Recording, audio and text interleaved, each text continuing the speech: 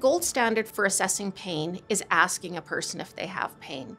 As dementia progresses, residents gradually lose that ability to communicate their pain in typical ways. They may instead exhibit behaviors. And we're going to look at those behaviors as a means of assessing their pain.